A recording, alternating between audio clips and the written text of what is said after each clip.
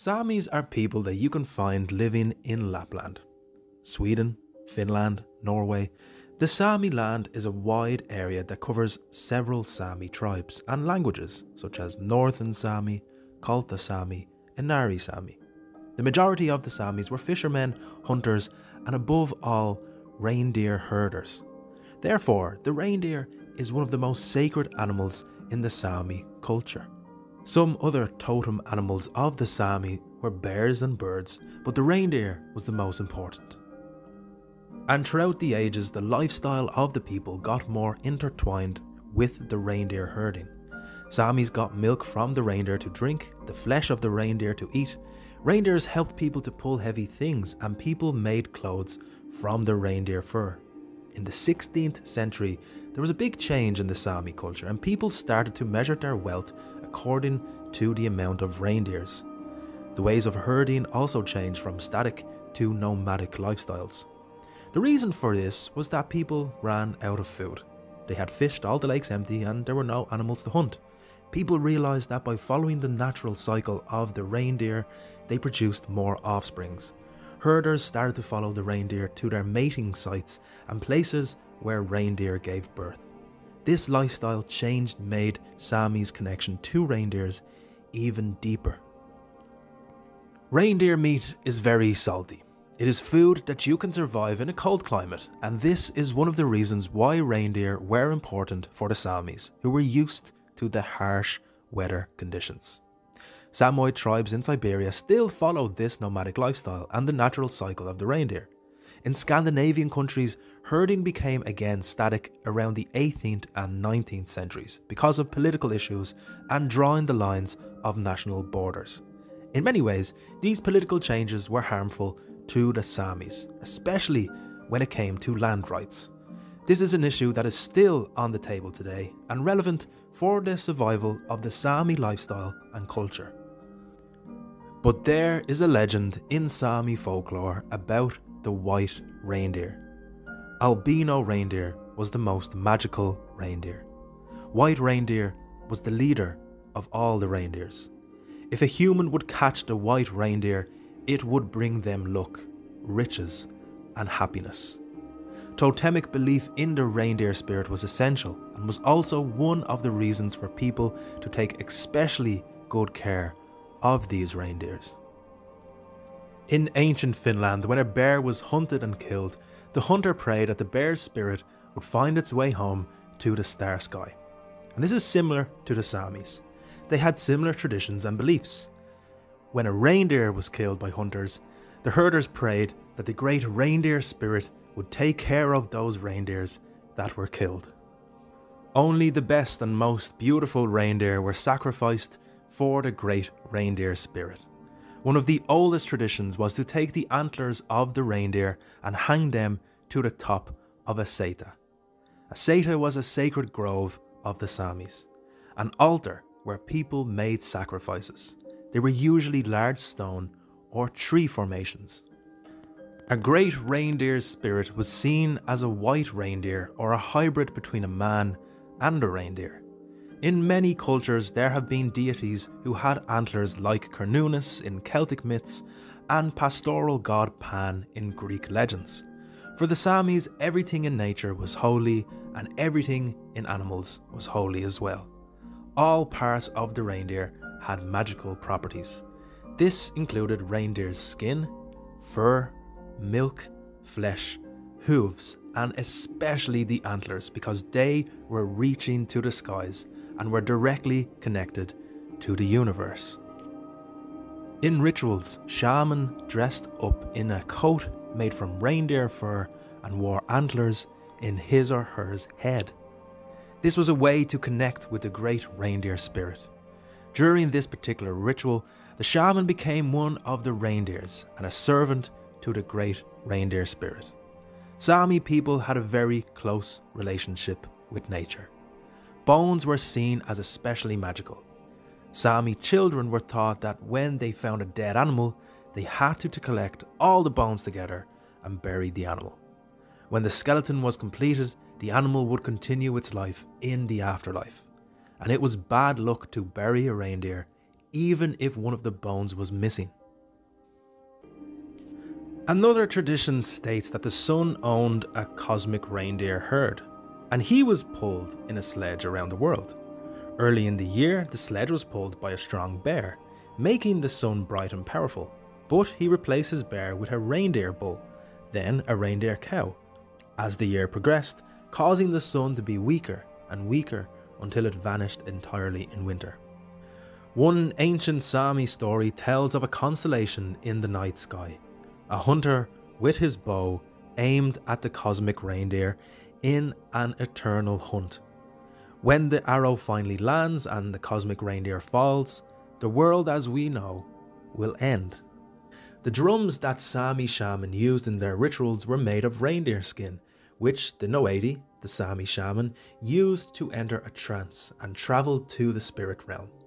The drum, which was decorated with symbols of both the mundane and the divine, was handheld and it was small and light, and it was beaten with a drumstick carved from reindeer bone. Reindeer sinews were used to attach the hides to the frame of the drum. The world view of the Sami was animistic by nature with shamanistic features. The Sami believed that the two worlds of existence, the physical, earthly world, and the spiritual world, were bridged by special people, or the Noaidi, the shaman. The drum was a means by which the Noaidi entered an ecstatic trance like state and this was achieved by beating the drum in a rhythm which brought about this excitation. While in such a state, it was believed that the Noaidi were able to leave the body and take another form. Moving as a spirit, they had the ability to change into a wild reindeer, or hide under a reindeer's neck or hoof, or travel over treetops, or underground, or swim in the form of a fish. But Finns and Karelians also had their fair share of reindeer tales and songs, like the songs of Vadin. Vadin was created by Seppo Ilmarinen to assist him on his journeys for knowledge. Ilmarinen was an immortal artificer, capable of crafting anything. Songs of Vadin's adventures were, and still are, sung by Finnish shamans. Vadin was crafted with bones of stone, flesh of moss, and skin of birch bark. Seppo gave her lichen to eat, mead to drink, and she carried him far and wide in search of knowledge and components necessary to create any magical items. In many totemic cultures where an animal has become a clan symbol, it usually started with stories about the animal father or the mother who had a connection to humans. In Northern Europe and Northern Asia, totem animals could be most often otters, lynxes, bears, wolves, and birds. Animals that people saw around them every day and animals that had magical meanings to them. Sometimes totem animals represented the lifestyle of a certain tribe. The otter could have been a symbol for a tribe that lived next to water. Reindeers were totem animals for reindeer herders who felt a connection to the earth and admired reindeer for their qualities. The rune Hiisi's elk tells the story of a hunter from a village in Lapland, a hunting community, who made himself a pair of skis to ski after a forest reindeer or an elk, and boasts that there is not a creature in the forest that would escape him. Some versions include that the hunter goes on to urge his people to prepare for butchering and cooking the catch. And this particular Hiisi heard this boast. So it created an elk from scant ingredients and sent it to this particular village in Lapland. There, the elk destroyed huts, toppled the cooking pots, and frightened the women and children. The hunter set off on the chase and caught the elk, but when he began to boast about this particular catch, the animal became angry, tore itself away, and escaped. Rushing again after the elk, the hunter's skis were broken. There is not a forest beast running on four legs that I won't surprise on these, happened a Hiisi to hear. Hiisi fashioned an elk, made the head from a tussock, legs from a fence post, skin from spruce bark, ears from lily pads on the pond, other flesh from rotted wood.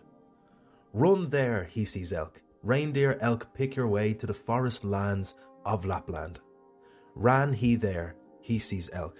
Reindeer elk picked his way to the forest lands of Lapland.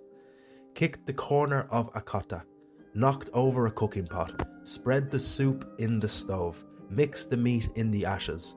Lappish women got to laughing, Lappish children got to weeping, Lappish dogs got to barking. Skiing after elk and forest reindeer has been a real hunting method, practiced particularly in late winter when the snow bore the weight of the skier but not that of the animal. Skiing to catch an elk or a wild reindeer may take days, and the method was also considered dangerous, as the animal would finally turn around and attack its pursuer with its sharp hooves. Before guns, the elk was killed with a spear, used as a ski pole, a reindeer also with a hunting knife, or the tendon of the animal's hind leg was severed using an arrow with a horizontal tip. Elk and forest reindeer were still hunted on skis in eastern Finland and Karelia in the 20th century. After the Finnish forest reindeer died out in Finland in the 1700s, they were still present in Karelia and Divina gathering on islands and large lakes in later winter, and reindeer hunts were part of the hunting every winter. Many of the people conversant with the epic poetry of Ladoga Karelia have themselves been renowned reindeer hunters. The rune mentions asymmetrical skis. The long sliding ski on the left foot was called Lulu, and the shorter leather covered ski for the right foot, Kalhu. It was used to kick up speed. These particular skis have been specifically intended for hunting forest reindeer and elk and used in later winter at the time of crusted snows or on the Lappish fells. The sliding ski, Lulu, was made from hard, close grained bog pine, which stood up best to wear on rough snow. Asymmetrical skis were used mostly in Ladoga Karelia, North Karelia, Divina, and Kainuu but they became obsolete in the 1800s. In his work, Lapponia, Johannes Schefferus describes Sami skis and ski hunting in great detail. He comments that the Lulu was made about a foot longer than the skier, and the Kalhu only a foot shorter than the Lulu. Thus, the skier, after Hiisi's elk with his bow and arrows, could be a member of an inland hunting community. Hiisi's elk has been compared to a magic animal also found in the folklore of European peoples. Julius Krohn interpreted Hiisi's elk as an astral myth. The elk would be an enchanted sun elk and the hunter Odin himself, who was chasing the sun. Chasing an enchanted animal is a theme that can be tracked back to antiquity. In the legends, a supernatural elk, reindeer, or other animal leads its pursuer to the underworld, into a dank ravine or other horrifying place, or to the hands of an evil being that has dispatched the animal to tempt hunters. And just like many other astral myths, the elk chase was set in the night sky. The driven animal is the Big Dipper, and the Milky Way, the hunter's ski track. This particular myth may have also been recorded in rock drawings at Zalavruga Oikoyoki. There is elements of Hiisi's elk, a supernaturally large elk, a coral snare, a Hisi giving birth to an elk, skiing Sami people, and even a hunter who catches an elk or a reindeer. In many people's views, certain rock pictures may be interpreted as illustrations of this particular elk myth with the northern night sky as background to the ruins. Many other rock drawings would also illustrate myths known as runes, with equivalent patterns in the stars of the northern sky. Lauri, the Lappish boy, spent the fall making his skis, spent the summer on his sliders, saved the goat's butter through the summer, ram's tallow through the winter, greased his skis with the butter, coated them with ram's tallow. Went gliding on them, glided bogs, glided lands, glided places, skied already, glided places never crossed, glided before death's maw behind the halls of grave folk. Missed that swat from his gliding, forest's corner left untouched. I shall glide through that swat also, touch that corner of the forest. Heard the bark of his dog, squealing of the woolly tail, glided toward the dog's barking, looked along the dog's mouth, along the barker's coat of fur, saw a squirrel on the branches, shot once, went over, shot another, went under, wiped his gun with snow, brushed with fir fronds, combed with junipers, shot at it a third time. Fell the beauty upon the snow, dropped the money skin on the snow drift. Picked it up in his paw, put inside his shirt, took it to his mother, carried to the one who bore him. Mother mine, old woman, where should I put my money skin? Where my great catch? Shall I buy a stallion horse? Do not buy, my son, your father has got a stallion. Shall I buy a war saddle? Your granddad has got the saddle. Go to the Black Sea, there the maids are bathing, copper heads splashing. Choose the best of six, find the finest of seven, propose to the maiden, bring her home. This particular rune is about Lauri Lappalainen, who carefully prepares his skis and sets off to the forest with his dog in search of quarry. He skis for a long time in vain, only until one remote corner remains and he decides to examine this patch of forest. The dog tracks a squirrel up a tree. The hunter shoots, but only hits the target at the third time, having cleaned his gun with snow and fir fronds. He takes his catch home to his mother, and the rune continues with one about marrying the boy off. This particular rune is also an authentic description of hunting, recounting a winter squirrel hunt. The hunting technique is characteristic of northern peoples. It uses a dog that barks squirrels up a tree. First, the squirrel hunter made himself a pair of skis, as if it was a show of skill required of the hunter. The poetic images of carving skis are similar to those in the opening lines of Hiisi's Elk. The squirrel hunter skied with his dog and looked for a quarry for a long time in spruce strands. Finally, the dog began to bark, showing where the squirrel sat. The hunter shot impatiently, only hitting the target for the third time. The rune mentions a gun, but squirrels were hunted in the past using hand and foot bows. In dry, frosty weather, dampening the wooden bow with snow was a necessary measure that restored the original tension of the bow. Wetting a gun with snow may even be dangerous. Snow frozen in the barrel can destroy the weapon. Hunting for squirrel probably dates back to the era of commercial hunting for fur, which in Finland began at least as early as the Viking era, but reached its peak in the first centuries following the first millennium. The rune uses the old term raha, money, for a squirrel skin. Squirrel skins were specifically used as trading currency in the prehistoric era and later in the taxation of inland hunting communities.